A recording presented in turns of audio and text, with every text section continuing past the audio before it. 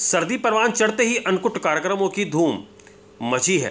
बयाना कस्बे के मंगलवार को शहर में स्थित गोपेश्वर महादेव स्थित नगला स्टोर बजरिया पुलिस चौकी के पास अनकुट महोत्सव की धूम रही। मंदिर पर भव्य फूल, बगला, झांकी सजाई गई और इस दौरान सामूहिक सुंदरकाट और भजन कीर्तन के कार्यक्रम भी हुए।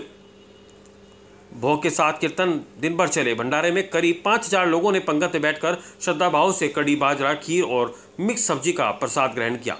रिको एसोसिएशन के अध्यक्ष दिनेश सुपा ने बताया कि अन्नकुटी प्रसादी भंडारे के लिए दो क्विंटल बाजरा, दस किलो चोरा, एक क्विंटल चावल मिक्स, दो क्विंटल सब्ज़ी और डेढ़ सौ किलो दूध की खीर बनाई गई। इस दौरान बड़ी संख्या में श्रद्धालुओं ने अन्नकूट प्रसादी ग्रहण की।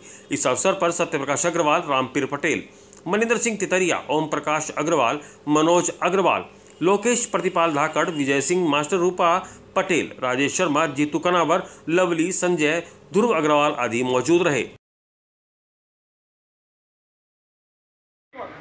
बयाना, बजरिया बयाना, नगला स्टोर, गोपेश्वर महादेव पुलिस चौकी की बगल में। आज अन्नकूट का आयोजन बहुत ही सुरक्षाते और सफ़ाई से किया गया, जिसमें बहुत ही संख्या में लोग उमड़े, प्रसाद वितरित किया गया। बहुत खुशी हुई।